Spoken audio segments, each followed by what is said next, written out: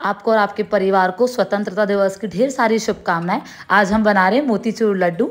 मैं जब भी स्कूल जाती थी इंडिपेंडेंस डे पे तो हमें मोतीचूर के लड्डू मिलते थे स्कूल से और मुझे इतना शौक था इन्हें खाने का। तो आज हम घर में बना रहे हैं एकदम परफेक्ट तरीके से। एक एक बूंदी खिली खिली बनेगी, ये मोतीचूर लड्डू से आपको मज़ा आ जाएगा। सिर्फ़ एक कटोरी बेसन से हम ये लड्डू बना के तैयार कर लेंगे। बहुत ही सॉफ्ट और एकदम रसीले तो चलिए बनाना शुरू करते हैं। सबसे पहले घोल बना के तैयार कर लेंगे। इसके लिए मैंने यहाँ पे लिया है एक कटोरी बेसन। सारे नाप आप एक कटोरी से लें तो आप कोई भी कटोरी फिक्स कर लें। यहाँ पे मैंने सादा बेसन लिया है। आप चाहें तो थोड़ा सा बॉम्बे बेसन भी यूज़ कर सकते हैं। इसी में हम डालेंगे आधा कटोरी पानी पहले। आपको बहुत ईजी नाप है। एक कटोरी बेसन में हमने पहले आधा कटोरी पानी डाला है। इसे अच्छे से मिक्स कर लें। हमें थोड़ा सा एक पोरिंग कंसिस्टेंसी वाला घोल बना के तैयार कर लेना है। अब जैसे ये थोड़ा सा गाढ़ा लग रहा है, मैं इसमें और पानी ऐड करूँगी। तो आप दो चम्मच करके ऐसे पानी ऐड कर सकते हैं, ताकि वो एकदम पतला ना हो जाए। मैंने यहाँ पे थोड़ा सा पानी और ऐड किया है, तीन से चार बड़े चम्मच। और मैं अच्छे से वापस से विस्क करूँगी। ध्यान रखें, कोई भी लम्ब नहीं होने चाहिए हमारे बैटर में। तभी जो हमारी बूंदी है, वो एकदम बढ़िया बन के तैयार हो जाएगी। अच्छे से विस्क करते रहें। और देखिए, कोई भी लम्ब नहीं है मेरे बैटर में।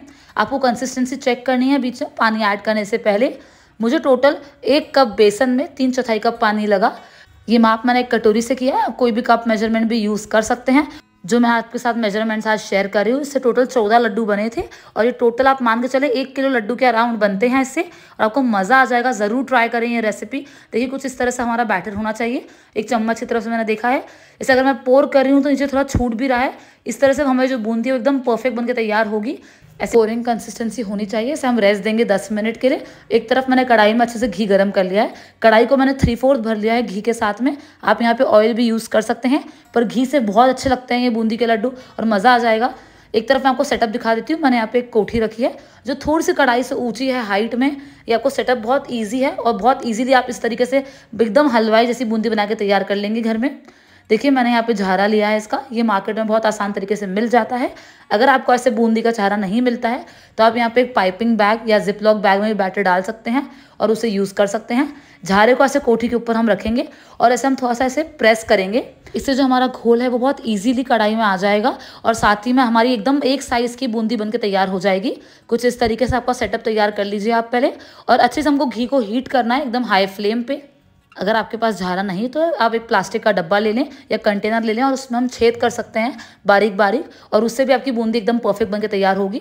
देखिए, मेरा बैटर एकदम परफेक्ट है पोरिंग कंसिस्टेंसी का है। घी अच्छे से गर्म हो गया, हम बैटर डालेंगे। एक तरफ़ से कलची से मम्मी ऊपर से बैटर डाल रही हैं और मैं यहाँ पे जो झारी है, उसे पकड़ के खड़ी हूँ और झारी को अच्छे से टैप कर रही हूँ कढ़ाई में। अब देखिए, आप एक साइज़ की बूंदी जो है, वो गिरेगी इसमें। आपको इसी तरीके से पूरा बैटर डालना है।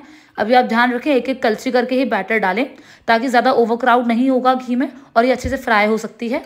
अब इसे हम थोड़ा सा फ्राई करेंगे हाई फ्लेम पे, जब तक ये अच्छे से गोल्डन कलर की हो जाए। मुझे तो पर्सनली इसी तरह से बूंदी को लड्डू बनाना बहुत अच्छा लगता है। आपको कैसा लगता है, मुझे कमेंट्स ज़रूर बताएँ। और सारी बूंदी को हम एक प्लेट में निकाल लेंगे। आपको कोई पेपर नैपकिन या फिर कुछ भी रखने की ज़रूरत नहीं है इसका जो एक्स्ट्रा घी है उसे निकालने के लिए, क्योंकि ये जो लड्डू है इसमें बाइंडिंग देगा घी।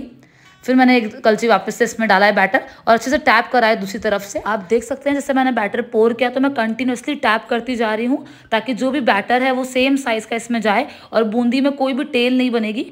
नीचे की तरफ़ से जो हमारा झारा है, इसको भी साफ़ करते चले। इसे दो से तीन मिनट के लिए हम फ्राई करेंगे बस हाई फ्लेम पे। जब तक इसका जो कलर है, वो थोड़ा सा गोल्डन हो जाए और आपकी जो बूंदी एकदम क्रिस्पी और करारी हो जाए। अब एक टिप बहुत इंपॉर्टेंट है, जिसका आपको ध्यान रखना है। जितनी बारीक आप बूंदी बनाएँगे, उतने महीन और मुँह में घुलने वाले लड्डू बनेंगे, और जितनी मोटी आपकी बूंदी रहेगी, उतने मोटे लड्डू बनेंगे। अब मेरे पास जो झारा है, वो थोड़ा सा मोटा है, इसलिए हमारी बूंदी देखें आप थोड़ी सी बड़ी बनी है साइज़ में, पर अगर आप एकदम बारीक वाला झारा यूज़ करते हैं तो उससे बूंदी एकदम मोती जैसी बनेगी, और मज़ा आ जाएगा आपको। ज़रूर ट्राई करें ये रेसिपी मैंने इस तरह से सारी बूंदी को फ्राई करके रख लिया है। कुछ भी नहीं करना है, आपको बस ध्यान रखना है इस चीज़ का कि आपकी जो बैटर है, वो पोरिंग कंसिस्टेंसी का होना चाहिए। चाहिए। और यहाँ पे एक कप बेसन से आप देखिए, इतनी सारी बूंदी हमने बना के तैयार कर ली है। दूसरी तरफ़ जो झारा है, उसे हम टैप करते रहेंगे एक कोठी के ऊपर रख के। अब आप यहाँ पे एक कोठी रख सकते हैं या फिर एक बड़ा बर्तन रख सकते हैं। जो भी आपके पास अवेलेबल है, उससे आप रखें।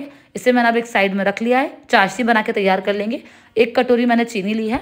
ध्यान रखें, मैं एक ही कटोरी का नाप यूज़ कर रही हूँ सारे मेजरमेंट्स के लिए। अब इसमें हम डालेंगे तीन चौथाई कप पानी। यहाँ पे हमें एक तार की चाशनी बिल्कुल भी नहीं बनानी है। हमें यहाँ पे सिर्फ़ चिपचिपी चाशनी बनानी है। इस बात का आपको ध्यान रखना है।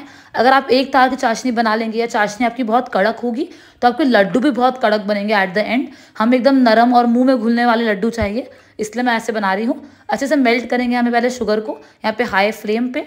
इसमें मैंने डाला है थोड़ा सा ऑरेंज फ़ूड कलर ये डालना ऑप्शनल है, आप चाहें तो केसर यूज़ कर सकते हैं, या फिर आप कंप्लीटली फ़ूड कलर और केसर दोनों स्किप कर दें, ऐसे भी आपके लड्डू बहुत अच्छे बनकर तैयार होते हैं। अब जैसे देखेंगे आप दो मिनट के बाद, जो हमारी चाशनी है वो अच्छे से तैयार हो चुकी है। देखिए कुछ इस तरीके से टेक्सचर चाहिए हमको, एकदम चिपचिपी है, ना यहाँ पे तार जुड़ रहा है ना एक तरह की चाशनी है ये। अब आप आँच एकदम मध्य कर लें। इसमें हम इस स्टेज में बूंदी ऐड करेंगे। हमको बिल्कुल भी चाशनी को कड़क नहीं करना है, क्योंकि चाशनी को हमें अब बूंदी के अंदर कुक करना है अच्छी तरह से।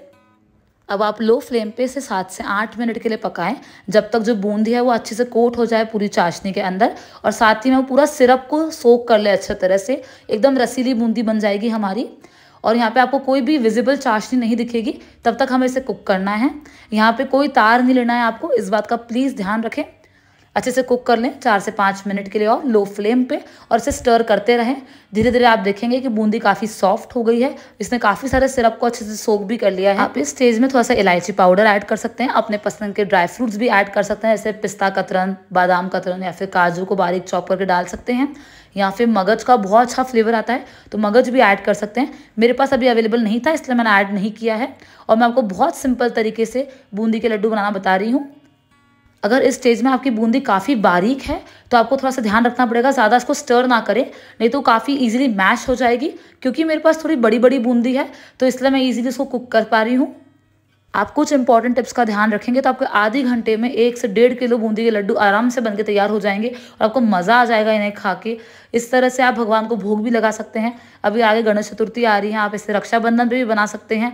तो ज़रूर ट्राई करें ये रेसिपी आपको कैसी लगी मुझे कमेंट्स में बताएँ और मेरे चैनल को ज़रूर सब्सक्राइब करें। बेल आइकन भी दबाएँ अगर आपको नोटिफिकेशन चाहिए मेरी कोई भी नई वीडियो की। देखिए अच्छे से कुक हो चुकी है। बूंदी ने सारा शुगर सिरप को सोख कर लिया है। अब मैं इस स्टेज में गैस ऑफ़ कर दूँगी। अब हम इसमें डालेंगे यहाँ पे एक चम्मच घी, ये डालना ऑप्शनल है। अगर आप तेल के लड्डू बना रहे हैं तो आप यहाँ पे इस स्टेज में घी डालेंगे तो बहुत अच्छा फ्लेवर आएगा और बिल्कुल भी नहीं लगेगा कि आपने तेल से लड्डू बनाए हैं और अच्छे से मिक्स कर लें। देखिए, बूंदी काफ़ी फरकी फरकी हो गई है और उसने काफ़ी ज़्यादा शुगर सिरप सोक कर लिया है। ये रेसिपी एकदम परफेक्ट है, ज़रूर ट्राई करें। अब मैं इस स्टेज में एकदम मार्केट जैसे हलवाई जैसे बनाने के लिए यहाँ पे ऐड कर रही हूँ एक चम्मच शहद। ये डालना कम्प्लीटली ऑप्शनल है, पर इससे बहुत अच्छी बाइंडिंग मिलती है लड्डू में। यहाँ पे आप शहद की जगह लिक्विड ग्लूकोज का भी यूज़ कर सकते हैं। लिक्विड ग्लूकोज कोई केमिकल नहीं है, पर ये एकदम सीक्रेट इंग्रेडिएंट है जो मार्केट वाले यूज़ करते हैं लड्डू को एकदम परफेक्ट बनाने के लिए। यहाँ पर मेरे पास लिक्विड ग्लूकोज नहीं था तो मैंने शहद का यूज़ किया है। अब मैंने जो मिक्सचर है, उसको थोड़ा ठंडा कर लिया है। इसमें यहाँ मैं डाल रही हूँ पिस्ता की कतरन। आप अपने पसंद के ड्राई फ्रूट्स ऐड कर लें। यहाँ पे मेनली मगज डाला जाता है तो मगज भी डाल सकते हैं। अब जो हमारा मिश्रण है, वो थोड़ा सा ठंडा हो चुका है और अभी थोड़ा सा वार्म है ये, तभी मैं इसे शेप दूँगी लड्डू का। आप देखेंगे जो चाशनी है, वो एकदम परफेक्ट और इजीली बाइंड हो रहे हैं हमारे लड्डू। इस तरह से हम सारे लड्डू बना के तैयार कर लेंगे। और देखिए कितने रसीले हैं। जो ये मेरे हाथ में है, ये थोड़ा सा शुगर सिरप और थोड़ा सा घी आ रहा है, क्योंकि मैं इसे दबा रही हूँ। तो ये शुगर सिरप रिलीज़ कर रहे हैं लड्डू और इतने परफेक्ट बने हैं, मज़ा आ जाएगा आपको। ज़रूर ये ट्राई करें, सारे लड्डू को ऐसे शेप कर लें। अगर आपका शेप अभी ठीक नहीं भी बन रहा है तो आप बाद में से वापस से बाइंड कर सकते हैं और गार्निश करें पिस्ता की कतरंग के साथ में। इस इंडिपेंडेंस डे अपने घर में तिरंगा लहराएँ और ये मोतीचूर के लड्डू बना के ज़रूर तैयार करें।